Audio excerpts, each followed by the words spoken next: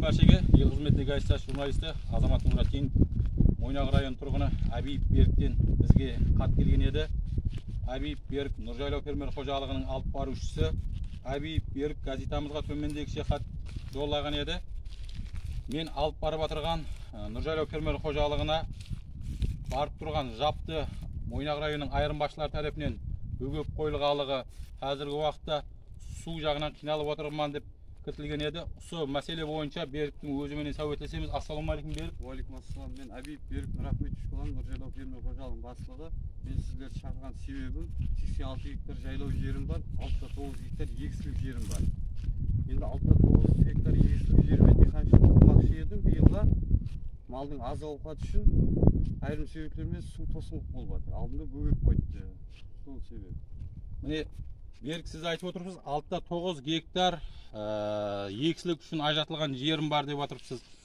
сонша шаруашылық үшін 86 гектар жер ажыратылған сізге.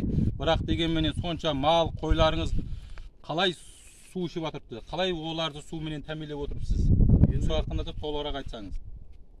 Енді осы уақытқа дейін ауыз судан мойнақ районы ауыз суына осы уақытқа дейін бір ай бір ай болды ғой тосылып қалғанына осы уақытқа дейін осы ауыз судан ішіп келіп еді.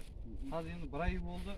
Бір айдан бері мен мойнақ районынан он бес километр жерден машинамен тонналап су тасып жатырмын міне құрметті канал оқушылары құрметті басшылар өздеріңіз көріп тұрсыздар фермердің өзі суды ауыз суды мойнақ районынан 15 километр алшылықтан тасып жеткізіп жатырғаны хақында естіңіз енді біз осы мәселені үйрену үшін жап хақиқаттан да алды тосқұлық қылып бөгетілген бе соны үйрену үшін біз берікпенен сол ә, нұржайлау фермер қожалығы үшін ажыратылған жер майданға һәм сол жапты бөгет үшін біз қазір жолымызды сол жақта даваметтіреміз ітібарыңыз үшін рахмет.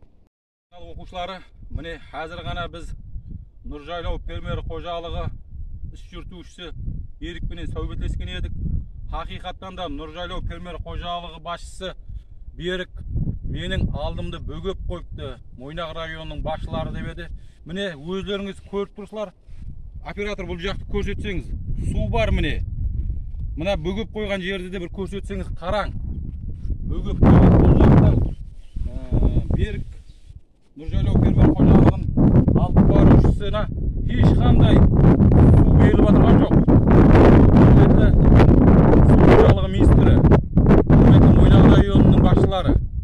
не мақсетте іспілерменді бұл дәрежеде қинап жатырсыз президентіміз айтқан ғой бір іспілерменді мен өз басымда көтеремен бір іспілерменге кімде кім тосқұлық қылатұғын болса президент қарарларына тосқұлық қылған деп айтқан. Құрметті басшылар сіз президент қарарларына тосқұлық қылып жатырсыз оған қашан су бересіздер? Диққатларыңыз үшін рахмет.